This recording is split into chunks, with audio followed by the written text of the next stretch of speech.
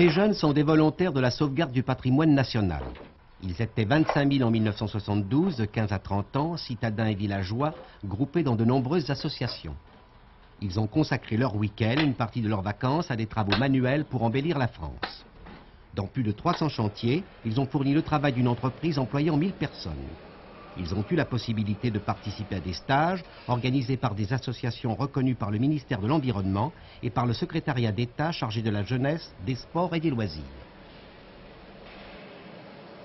Nous cherchons à former un petit peu les jeunes et les moins jeunes, à leur donner une initiation de base, si vous voulez, en gros en 5-6 jours, de manière à ce qu'ils puissent connaître faune, flore, le biotope, qu'ils puissent savoir un petit peu le rôle euh, de techniciens comme les gardes forestiers, comme les gens de l'ONF, comme euh, euh, les gens des services publics ou des services de mairie. Je crois que ce qui est très important en fait, c'est que ce soit une initiation plus qu'une éducation. Nous devrions laisser l'éducation au niveau des écoles. nous cherchons à travailler au niveau du périscolaire et nous cherchons à créer alors là, pour l'avenir, nous avons commencé des centres d'initiation et d'animation sur les problèmes de la nature. Jean Thierry, je te dégage un peu plus le terrain là. Euh, c'est encore 10 cm, tu sais parce qu'il y a le sol 12 en dessous et ouais, de l'argile en dessous. Ouais, tu préfères. Hein. Créés pour ceux qui n'ont pas de connaissances pratiques ou qui en ont d'insuffisantes mais qui désirent en acquérir, ces stages ne sont pas indispensables pour les jeunes qui exercent un métier manuel. Pour eux, il y a des stages de perfectionnement. Pour tous les jeunes, dès qu'ils se sentent capables, il y a un grand nombre de chantiers mis à leur disposition chaque week-end. Ils peuvent donc choisir celui qui leur convient, puis y aller selon leur temps de libre sans qu'il soit nécessaire de prévenir à l'avance. Pour les chantiers d'été de longue durée, ils doivent se faire inscrire auprès des associations organisatrices.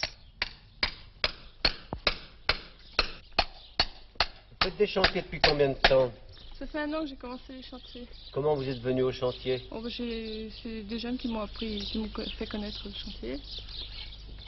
Vous en tirez satisfaction? Oh, Oui, ça me plaît beaucoup. Euh, j'y viens tous les week-ends. Quel est votre métier? Euh, Je suis rédactrice dans une compagnie d'assurance. Et vous êtes de la région Je suis de la région parisienne. Dans ce chantier de l'abbaye de lieu restauré à Bonneuil-en-Valois, près de Villers-Cotterêts, une quinzaine de jeunes viennent chaque week-end, hiver comme été. Je suis dessinateur en bureau d'études. Vous êtes originaire d'où? De Lille. Ce qui est bien dans un chantier, c'est quand un jeune, ça ne lui plaît pas, il peut aller dans un autre chantier euh, sans que ça lui coûte rien. Pour ma part, euh, je préfère rester ici pour la même continuité. Il n'y a pas de droit d'inscription pour les jeunes dans l'association de chantiers de bénévoles tel que le nôtre.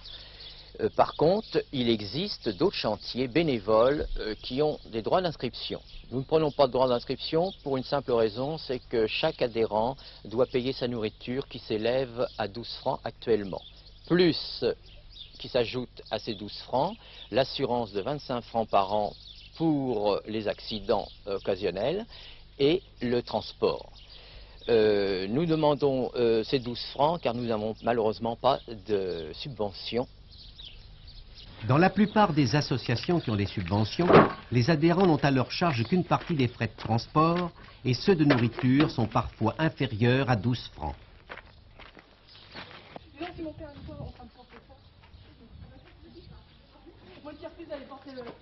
Euh,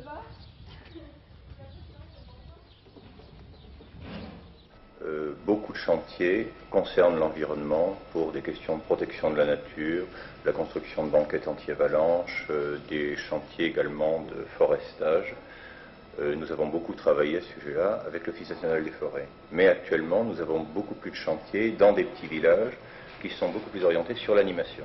Est-ce que vos activités s'exercent uniquement dans la région parisienne? Non, nous avons des activités dans toute la France, mais surtout concentrées dans le Massif central. Pourquoi? Euh, parce que, à notre avis, c'est une des régions les plus intéressantes euh, sur le plan de petits villages en voie de dépopulation et pour lesquels euh, il y a beaucoup de choses à faire, soit sur un plan touristique, soit même sur un plan social. Certaines associations comme celle-ci permettent aussi aux jeunes d'aller travailler bénévolement sur des chantiers à l'étranger. Il suffit pour eux d'aller se faire inscrire près d'elles. Il y a de la place pour tous, en France ou ailleurs.